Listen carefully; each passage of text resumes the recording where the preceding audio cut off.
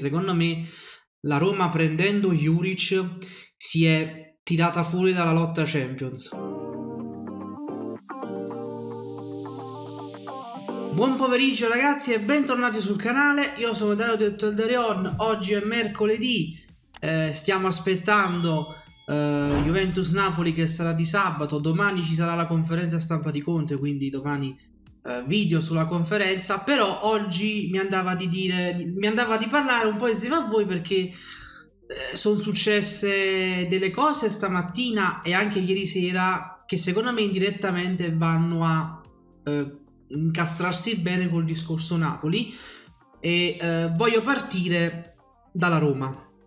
Ragazzi, stamattina, vabbè, eh, ci siamo un po' tutti svegliati con questa notizia che a mio avviso era abbastanza inaspettata, cioè la Roma ha esonerato De Rossi. Lo ripeto, non me lo sarei mai aspettato un esonero in questo momento, perché tu comunque hai fatto appena 4 partite. Sì, non hai vinto neanche una partita, hai fatto 3 pareggi, uno contro la Juve che secondo me è ottimo, il pareggio col Genoa a mio avviso influenzato anche da un rigore non dato alla Roma, cioè ci sono stati anche degli episodi a sfavore della Roma in queste quattro partite. Comunque l'avvio non, non, era stato sicuramente uno dei migliori, non sono uno che si limita a vedere solo il Napoli, ad ascoltare il mondo Napoli, ascolto un po' tutte le campane, no? la campana del Milan, della Juve, della Roma, della Lazio, perché mi piace. Sono andato a leggere il comunicato della Roma eh, e ho letto le motivazioni per cui la Roma ha esonerato De Rossi. Praticamente il motivo è perché hanno paura di perdere il treno Champions. È una cosa che, che si può capire, cioè nel senso è comprensibile questa paura perché comunque la Roma sì ha fatto un mercato importante, ma davanti a sé ce l'ha almeno quattro squadre che hanno più chance di andare in Champions. Quindi tu dici parti- bisogna partire subito bene e mettere la marcia subito perché altrimenti quest'anno si rischia di non andare di nuovo in Champions. Però quello che dico io è, ok, tu esoneri De Rossi perché vuoi andare in Champions. Perché prendi Juric? Ragazzi, la, la Roma ha sostituito, ormai eh, sarà penso fra poco ufficiale, la Roma ha sostituito De Rossi con Juric. E tu vuoi andare in Champions con Juric? Mio modesto parere, che può essere tranquillamente smentito, io non avrei assolutamente puntato su Juric perché non mi sembra un allenatore che ti fa fare quello step in avanti. Io se volevo puntare alla Champions avrei preso un Allegri che magari sì, non è un allenatore che ha un gioco spumeggiante, però la qualificazione in Champions la sa prendere, sa come si gestisce un obiettivo del genere. Avrei preso un Sarri avrei fatto altre scelte rispetto a Juric che con tutto il rispetto mi sembra un downgrade. A me sembra un downgrade. Secondo me la Roma prendendo Juric si è tirata fuori dalla lotta Champions. È una scelta che non mi convince sinceramente. Io se fossi tifoso della Roma oggi sarei molto preoccupato per il futuro diciamo per il proseguo di questa stagione. Ora perché De Rossi è stato esonerato? Per i risultati Secondo me i risultati sono stati solo un pretesto perché tu dopo quattro partite, cioè io trovo inconcepibile esonerare un allenatore dopo appena quattro partite. Secondo me i problemi sono oltre il, il campo, cioè probabilmente problemi con la dirigenza. Ci sono stati degli episodi extracampo nelle ultime settimane, il, litigio con Cristante, poi l'ultima quella con Zaleschi, di Bala che non è andato più in Arabia. Secondo me il problema è stato lì, cioè pro- sono stati problemi che non c'entrano niente col, con la tattica, con il lavoro sul campo, ma sono problemi legati appunto a rapporti forse che si sono incrinati. Però, ripeto, Secondo me prendere Juric vuol dire tirarsi fuori dalla lotta Champions. Io la penso così eh, in questo momento. Secondo me eh, De Rossi eh, è stato trattato in un modo abbastanza, secondo me, irrispettoso. Eh, non avrei mai preso Juric. Se dovevi fare il salto di qualità, io avrei preso Sarri o Allegri. E quindi questa è la situazione da Roma.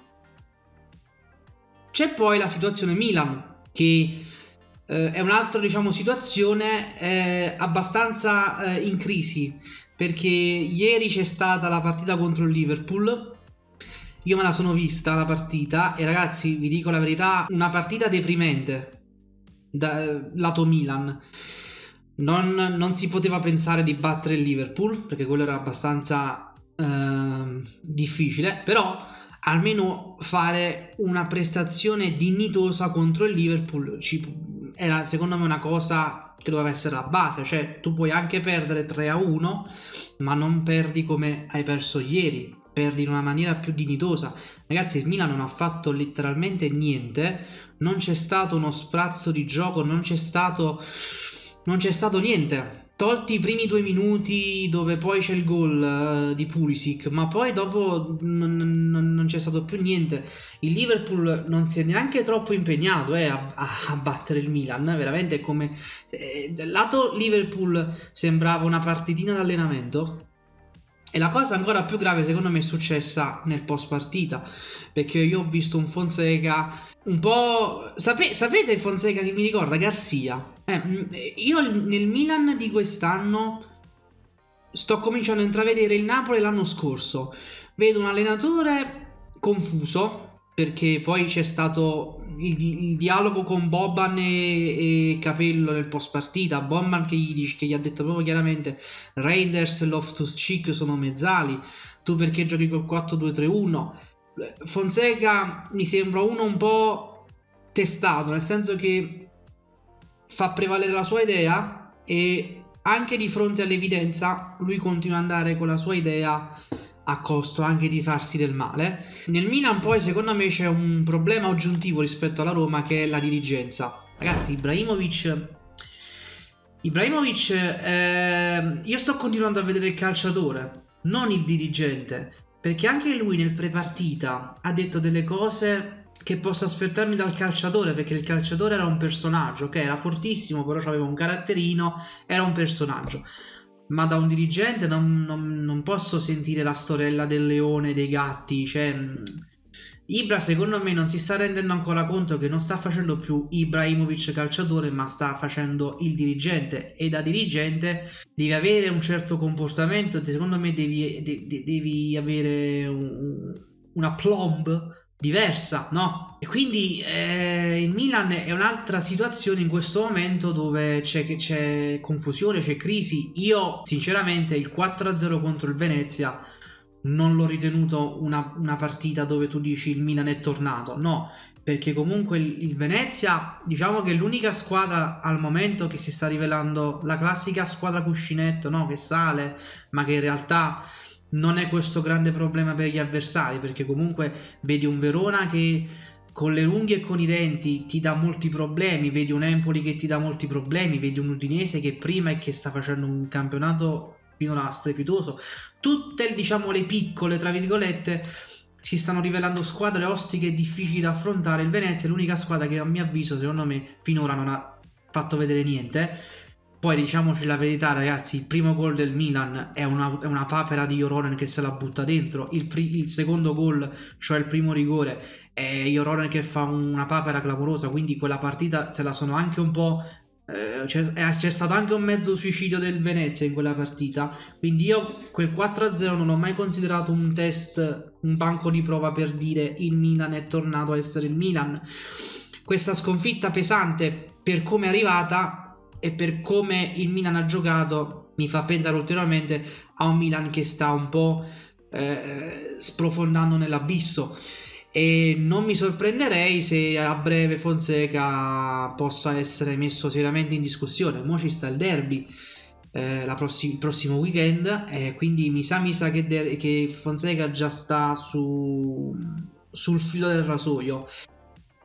Ora voi direte, ma ok, ci hai parlato di Roma e Milan, ma che ci azzecca col Napoli? E ragazzi, ci azzecca veramente tanto perché noi comunque, lasciando da parte la classifica al momento, lasciando da parte queste quattro giornate, a bocce ferme che abbiamo detto prima dell'inizio del campionato, il Napoli si lotta il posto Champions principalmente con Milan, Atalanta e Roma. Poi ci sono Fiorentina e Lazio che possono essere delle sorprese, possono essere delle mine vaganti, ma io personalmente le, le, metto un gradino sotto a queste squadre. E poi ci sono Inter e Juve che fanno quasi un campionato a parte perché stanno su un livello più alto rispetto agli altri. E capite bene che tu comunque in questo momento ti vedi un Milan che è in piena crisi, con un allenatore che non ci sta capendo niente e che rischia anche di essere a breve esonerato c'è una dirigenza che non si capisce cosa sta combinando. Vedi poi una Roma che esonera De Rossi, va a prendere Juric.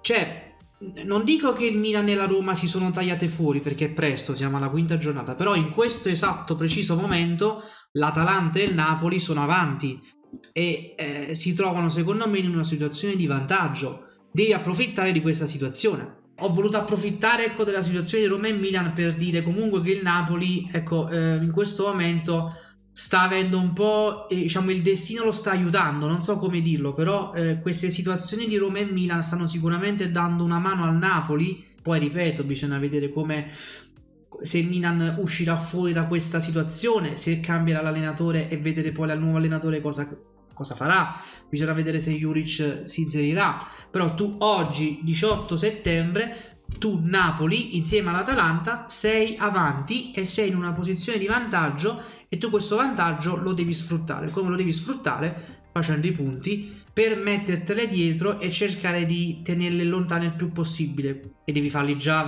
sabato contro la Juve, che non sarà facile, ragazzi. La Juve ieri partitone in Champions League, partitone.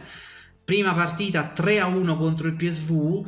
Nel calcio, come avevo detto più volte, esiste anche la componente fortuna, no? La fortuna si può anche tradurre con un periodo di crisi per le tue rivali, che è appunto quello che sta succedendo a Roma e Milan. Quindi, ragazzi, dobbiamo assolutamente approfittare di questo momento, così come dovranno approfittare forse anche Fiorentina e Lazio, che magari vedono che c'è un vuoto diciamo di potere tra virgolette in quella zona della classifica e possono agguantarla ok quindi quest- questo periodo di Roma e Milan deve essere un po' un, un leitmotiv deve essere una motivazione in più per le altre di quella categoria per approfittare di questo momento e cercare di mettersi in una posizione di vantaggio. Ecco, quindi ragazzi, questo è quanto.